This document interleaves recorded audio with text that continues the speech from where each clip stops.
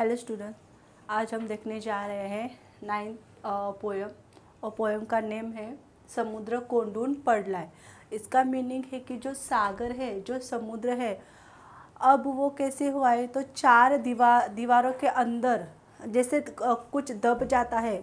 समझ लो हम लोग डिब्बे में अगर कोई चीज़ रख देते हैं तो वो चीज़ का जो अस्तित्व है, वो कैसे उस डिब्बे जितना ही होता है, वो उस डिब्बे में अब वो कैद हो जाती है कोई चीज़।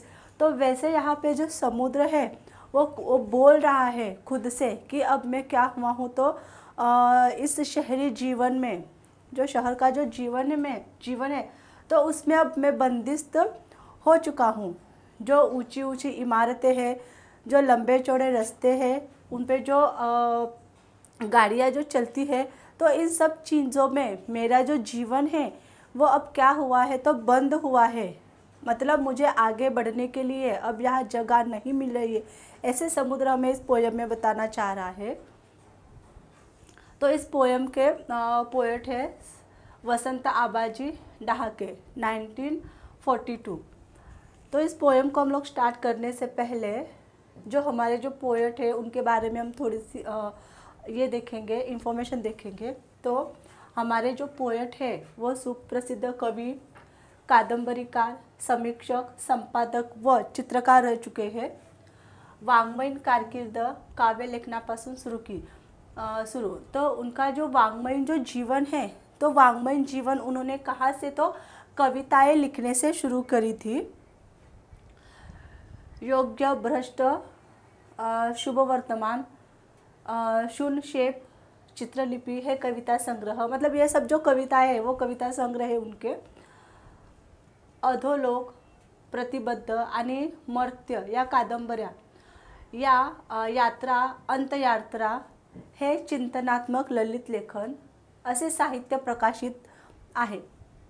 भोवतीच्या समाज व्यवस्थेने मानवी जगण्यातला ज्या पातळीवर आणून सोडले आहे तो यहाँ पे लेख जो पोएट है वो हमें बता रहे हैं कि जो हम लोगों के आजू बाजू मतलब परिसर में हमारे सराउंडिंग में जो समाज है, जो सोसाइटी है तो उस सोसाइटी को यहाँ पर कुछ अलग ही जगह पर लाकर रखा है इस शहरी जीवन ने। तो उस शहरी जीवन मतलब इस भागदौड़ के जो जीवन है हमारा टेक्निकल युग में, जितनी भागदौड़ इंसान की हो रही है, ये सब चीज़ें देखकर हमारे पोएट जो है यहाँ पे अस्वस्थ हुए हैं। या युगातिल मानवी दुख एकाकीपण जीवनातील अस्थिरता, दहशत, सर्वव्यापी भय आणि पराधीनता या साऱ्याचे चित्रण समृद्ध आणि समर्पक प्रतिमांचा वापर असलेल्या भाषेत केलेले आहे. तो इस पोयम में पोएट ने हमें क्या बताया है? तो इस जीवन में जो मनुष्यों को दुख है एकाकीपन जो अकेलापन है, भागदौड़ के जीवन में बहुत सारे जो लोग हैं, जो यंग पीढ़ी है वो दौड़ने के पीछे लगी है। तो उस यंग पीढ़ी की वजह से जो उनके माता पिता है, अब जो प्रौढ़ हुए हैं और वो जो उनके बच्चे हैं, जो अभी छोटे हैं, उन्हें अब उन लोगों की ज़रूरत है अपने माता पिता की। तो उस टाइम पे उन्होंने इसे भागना मतलब कुछ हासिल करना, यही वो लोग सोच रहे हैं। और उस उस हासिल करने के लिए उनकी जो भागदौड़ जो चल रही है, उस भागदौड़ में जो छोटे बच्चे हैं और जो अब जिनकी उम्र हो चुकी है, तब वो लोग को क्या हुआ है तो एकाकीपन मतलब अब उनको अकेलापन महसूस हो रहा है। जीवनातील अस्थिरता मतलब जीवन में जो अब अस्थिरता हुई है मतलब कहाँ रुकना है, ये हमें नहीं पता चल रहा है। तो इस सब चीज़ों से क्या हुआ है तो पोएट जो है, हमारे अस्वस्थ हुए हैं और वो अस्वस्थता उन्होंने इस पोयम में हमें समझाने की कोशिश की है। कि भाषा आश त्यांची भाषा आशियाचे अंतस्तर उलगडून दाखवणारी आहे. निसर्गातील प्रतिमांचा वैशिष्ट्यपूर्ण वापर करणारी आहे. शालेय मराठी शब्दकोश समीक्षक मराठी वाङ्मय कोश आणि वाङ्मयीन संज्ञा संकल्पना कोश यांचे संपादनही केलेले आहे. त्यांचा चित्रलिपी हा काव्यसंग्रह साहित्य अकादमी पुरस्काराने सन्मानित झालेला आहे. तो उनका चित्रलिपी यह जो कविता संग्रह है संग्रह है तो वो साहित्य अकादमी पुरस्कार से सम्मानित हो चुका है। तसेच जनस्थान पुरस्कार आणि उत्कृष्ट साहित्य निर्मितीचा महाराष्ट्र राज्य पुरस्कार इत्यादी पुरस्कारांनी त्यांना सन्मानित केलेले आहे. तो महाराष्ट्र राज्य सरकार से भी उनको जनस्थान पुरस्कार यह मिल चुका है। समुद्र म्हणजे अथांग पाणी आणि पाणी म्हणजे जीवन. या दृष्टीने या कवितेतील समुद्र हा जीवनाचे प्रतीक आहे. तो यहाँ पे समुद्र म्हणजे अथांग पानी मतलब सागर में अगिनत पानी है. हम लोगों की नज़र जहाँ तक जा रही है, वहाँ तक समुद्र में पूरा पानी है. और पानी क्या है? तो जीवन है पानी म्हणजे जीवन. इसका मीनिंग है पानी मतलब जीवन. तो इस कविता में कवि ने हमें यही बताया है कि इस समु क- कि समुद्र जो है, पानी जो है तो वो जीने का, जीवन का क्या है तो प्रतीक है। समुद्रासारखे अथांग जीवन, जेव्हा शहराच्या, महानगराच्या मर्यादामध्ये कोंडून पडते, तेव्हा येणारी अस्वस्थता कवीने या कवितेतून व्या, व्यक्त केलेली आहे. यहाँ पर जो कवि ने हमें जो बताया है, समुद्रासारखे अथांग जीवन मतलब सागर जैसा जो हमारा जो जीवन है, अथांग बहुत मतलब बहुत ही बड़ा, विस्तीर्ण जो हमारा जीवन है। लेकिन वो जीवन हमारा शहरों में आकर और ये जो जो महानगर है, उनमें आकर जो हमारा जो विस्तीर्ण जो जीवन है, वो कैसे हो जा, होता है तो मर्यादित हो रहा है। क्योंकि हम लोग इतने भागने में, कुछ हासिल करने में इतने हम लोग मग्न हुए हैं। मतलब खुद को हम लोगों ने इतना इन्वॉल्व किया है वहाँ पर। तो हम लोग खुले से जो हमारा जीवन है वो नहीं जी पा रहे हैं। जीवन का आनंद हम लोग यहाँ पर नहीं ले पा रहे तो इसी से कभी अ, कभी हमारे व्यतीत हुए हैं। और ये सब चीज़ें जो है कभी हमें यहाँ पर बताना चाह रहे हैं। बागडायला अंगण नसणाऱ्या उत्तुंग इमारतीमध्ये बालपण आक्रसून गेले आहे. बागडायला अंगण नसणाऱ्या उत्तुंग इमारतीमध्ये बालपण अक्रसून गेले आहे. तो यहाँ पे इस लाइन में पोएट हमें बताना चाह रहे हैं कवि तो बागडायला बागडायला मतलब खेलने के लिए.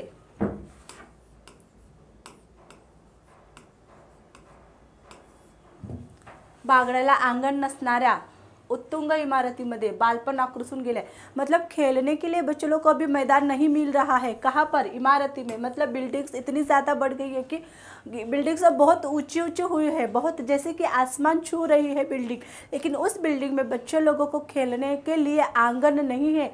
उस वजह से बच्चों का जो बालपन है वो आकर्षण गेले है. मतलब बालपन जो है उनका अब ख़त्म हो रहा है। मतलब बालपन क्या है? कैसे जीना है बालपन कितने आनंद से कितने उत्साह से खेलने में मस्ती करने में।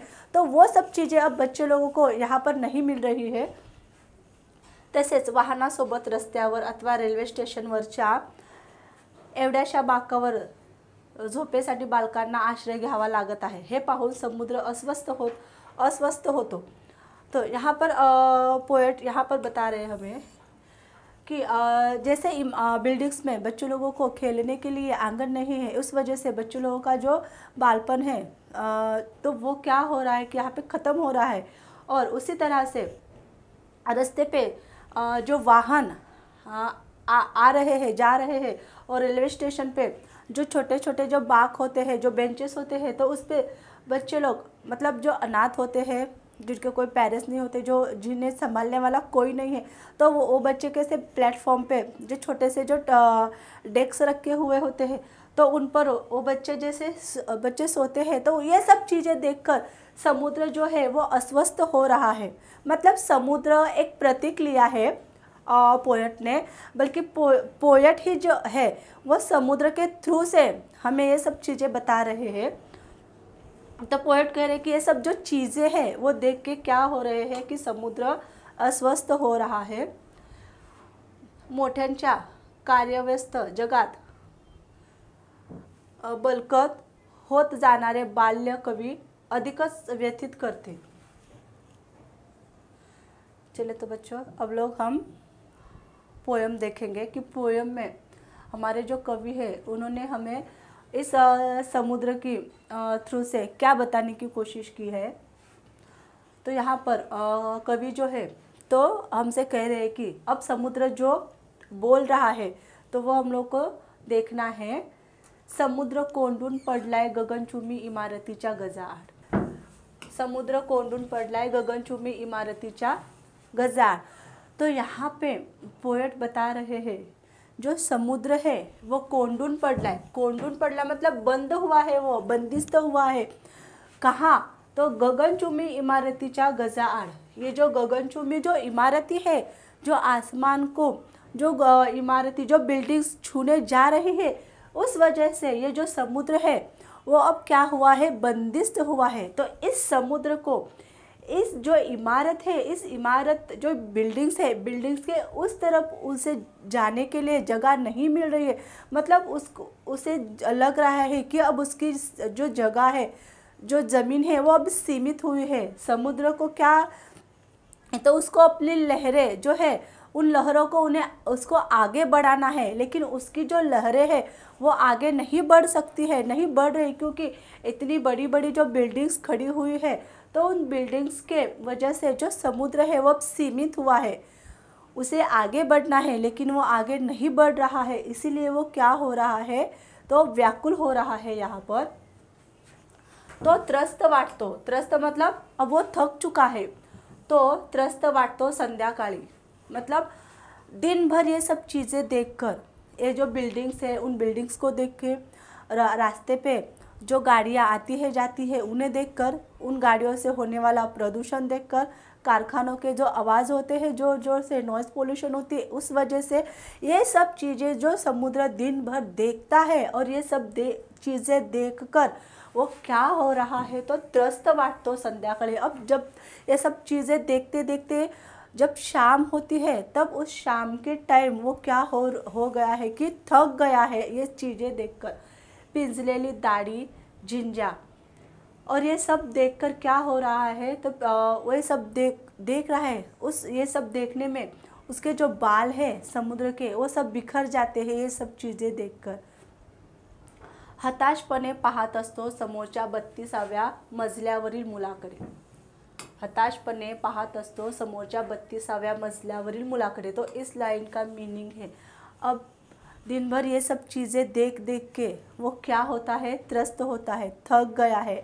और हताश बने और हताश होके थक कर वो कहाँ देख रहा है अब? समोरच्या बत्तीसाव्या मजल्यावरील मुलाकडे। इस बिल्डिंग में जो थर्टी टू फ्लोर है, उस फ्लोर पर एक बच्चा रहता है, छोटा बालक है। तो उस बालक को भी देखकर वो क्या हो रहा है? त्रस्त हो रहा है व्यतीत हो रहा है सागर। उसे लग रहा है कि जैसे मेरा जीवन इन बिल्डिंग्स की वजह वजह से सीमित हुआ है, मैं आगे नहीं बढ़ पा रहा हूँ। उसी तरह ये जो बच्चा है, उस बच्चे का जीवन भी मेरी ही तरह अब सीमित हुआ है। इन बिल्डिंग्स की वजह से, इस शहरीकरण के वजह से, इस गर्दी की माहौल की वजह से, ये जो बच्चा है, वो अपना जो बालपन है वो बालपन उसे जीने नहीं मिल रहा है। उस बालपन का आनंद भी उसे लेने के लिए नहीं मिल रहा है। मतलब ये बिल्डिंग्स की वजह से, इस गर्दी, इस माहौल की वजह से वो बच्चा जो है, वो अंदर ही अंदर घुट रहा है। ज्याचं बालपण उंच उंच पण अरुंद झालं आणि त्याची त्याला कल्पनाही नाही. तो अब यहाँ पे इस लाइन में ज्याचं बालपण उंच उंच पण अरुंद झालंय. आणि त्याची त्याला कल्पनाच नहीं. तो इस लाइन में समुद्र मतलब पोएट ही हमसे बता रहे हैं कि जो बच्चा है, उसका जो बालपन है, जो वो क्या हुआ है तो अब उस बिल्डिंग्स की तरह उसका बालपन भी ऊँचा ऊँचा हुआ है और अरुंद हुआ है। मतलब बढ़ तो रहा है वो बच्चा एज से बढ़ रहा बढ़ रहा है हाइट से भी बढ़ रहा है, लेकिन उसके अंदर का जो मन है अंदर का मन अभी भी उसके नहीं बढ़ रहा है, उसके मन को अभी भी आनंद नहीं मिल रहा है, वो अंदर से अपना बालपन नहीं जी पा रहा है। आनी त्याची त्याला कल्पना ही नहीं और वो जो बच्चा है, उस बच्चे को भी समझ नहीं मतलब वो भी समझ नहीं पा रहा है कि मैं छोटा हूँ, मुझे खेलना है, मुझे आनंद व्यक्त करना है, या फिर मुझे फ्रेंड्स बनाने हैं, मुझे बाहर जाके खेलना है क्योंकि वो बाहर जाके खेलेगा उसे कैसे समझ पा समझ में आए? क्योंकि आंगन ही नहीं है उसे खेलने के लिए तो कहाँ खेलेगा?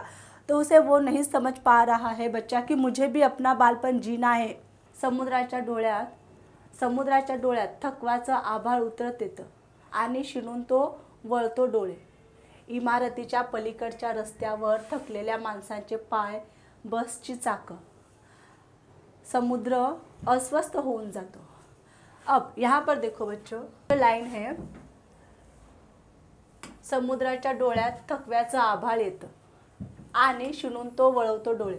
अब ये चीज़ें जो है दिन भर ये जो चीज़ें समुद्र देख रहा है, सागर, ये जो गगनचुम्बी इमारत है, रास्ते पे जो गाड़ियाँ आ रही है, जा रही है, जो ध्वनि प्रदूषण हो रहा है एयर प्रदूषण हो रहा है नॉइज़ पोल्यूशन हो रहा है, ये सब चीज़ें जो समुद्र दिन भर देख रहा है अब वो देख देख के क्या हुआ है? थक गया है। आसमान जितना आभा आभा उतर येतो मतलब आसमान जितना जो थकवा है आ, जो वो दुख है जो थकवा है आसमान इतना वो सब आकर उसके आँखों में अब बस गया है। मतलब उसकी आँखों में आसमान जितना दुख आसमान जितना थकवा उसकी आँखों में दिख रहा है और वो उन्हीं आँखों से अब वो क्या कर रहा है? आणि शिरून तो डोळे वळवतो अब उसी आँख, उस थके हुए आँखों से अब वो इधर उधर देख रहा है। क्या देख रहा है? र, रस्त्या इमारतीच्या पलीकडच्या रस्त्यावर थकलेल्या माणसांचे पाय।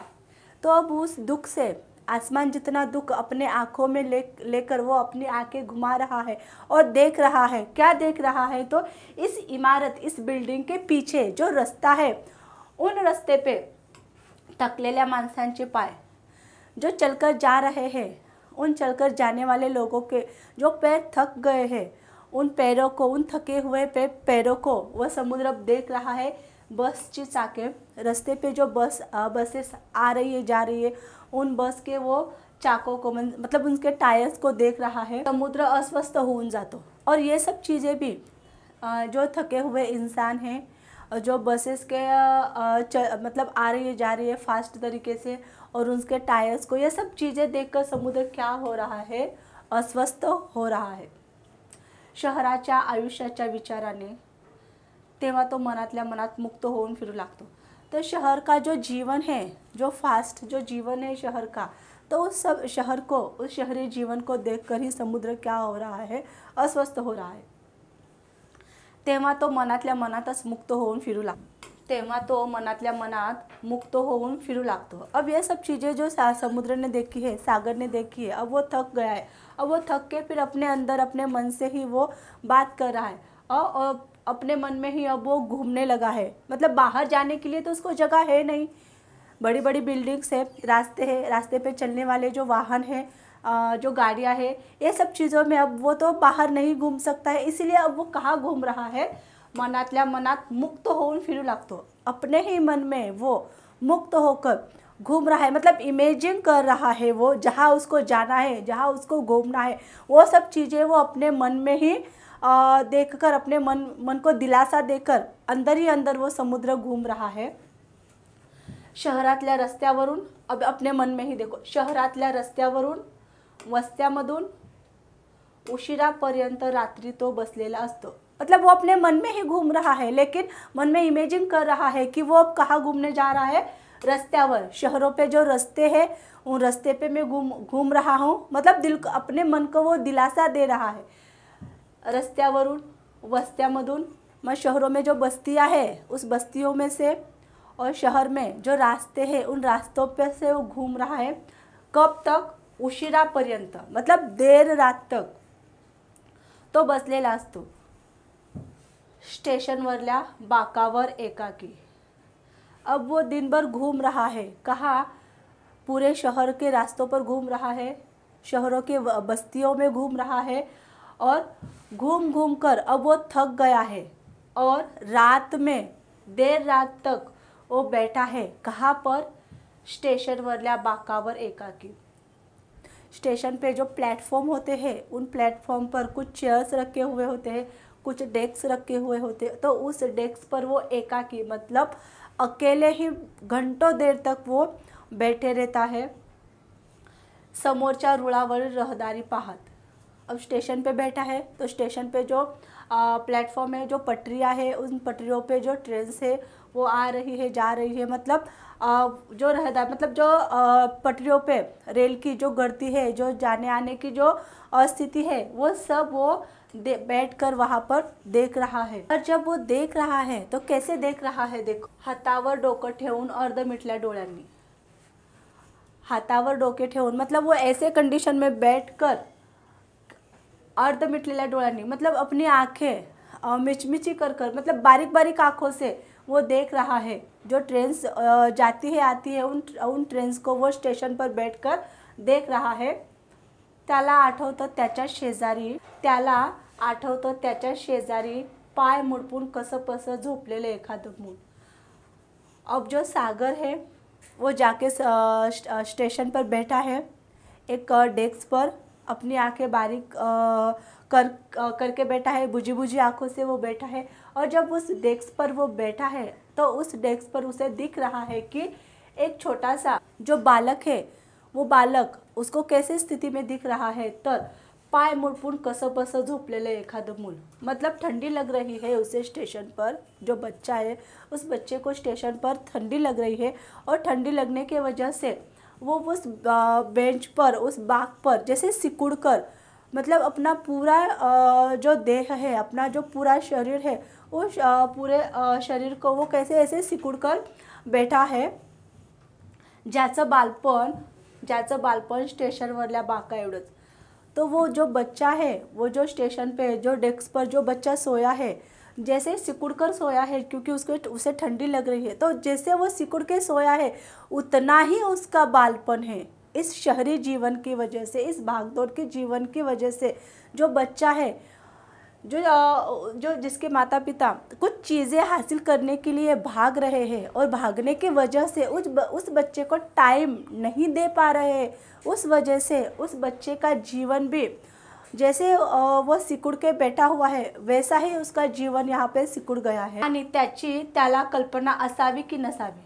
और ये सब चीज़ों की उस बच्चे को आ, कल्पना मतलब ये सब चीज़ें उस बच्चे को पता भी है या नहीं ऐसा प्रश्न इस समुद्र को यहाँ पे हो रहा है। समुद्र खिन्न हसतो आणि शिनलेल्या पापण्या मिटून घेतो। अब उस बच्चे को देखकर उस बच्चे के जीवन की कल्पना को सोचकर, अब समुद्र क्या हुआ है तो खिन्न हो गया है और खिन्न होकर वो स्माइल कर रहा है, हंस रहा है। आणि शिनलेले पापण्या मिटून घेतो और जो बुझी बुझी आँखों से, जो बैठकर स्टेशन पे, ये सब चीज़ें देख रहा है ट्रेन्स को देख रहा है, उस बच्चे को सिकुड़ के सोते हुए देख रहा है। और जैसे वो बच्चा सिकुड़ के सोया है, वैसे ही उसका जो बालपन है तो वो बालपन भी जैसे सिकुड़ गया है। ये सब चीज़ें देखकर समुद्र खिन्न हुआ है, दुखी हुआ है। उसको अंदर से बहुत अस्वस्थता हो रही है और ये अस्वस्थता, ये दुख लेकर समुद्र क्या कर रहा है, हंस रहा है। और हँसते हँसते वो अपने जो बुझी बुझी आँखें, आँखों से देख रहा है, अब वो अपनी पलके बंद कर बंद कर देता है। त्याला काळजी वाटते साऱ्याच बालपणाची। वयस्करांच्या शहरातील. अब समुद्र, जो ऊँची ऊँची बिल्डिंग्स देख रहा है बिल्डिंग्स में जो आँगन नहीं है बच्चे लोगों को खेलने के लिए, वो उसने देखा है। और जो बूढ़े लोग हैं, उनको हम लोग जो यंग पीढ़ी है, वो टाइम नहीं दे पा रही है, ना अपने माता पिता को, ना अपने बच्चों लोगों को। ये सब चीज़ें देखकर, जो सागर है, जो समुद्र है, उसे अब क्या काळजी, अब उसे टेंशन हो रहा है। कौन से चीज़ का टेंशन हो रहा है? बालपनाची जो बच्चों का, जो बालपन है, उस बालपन का और वयस्करांच्या अब जो थक गए हैं, अब जो बूढ़े हो चुके हैं शहर के लोग तो उन बूढ़े लोगों का भी इस सागर को, इस समुद्र को यहाँ पर टेंशन हो रहा है। जैसे समुद्र का जीवन सिकुड़ गया है, इन शहरीकरण की वजह से उसको अब उसकी लहरें बढ़ाने के लिए नहीं मिल रही है जगह। ये सब चीज़ें और बच्चे लोगों का जो बालपन है, वो भी सिकुड़ गया है।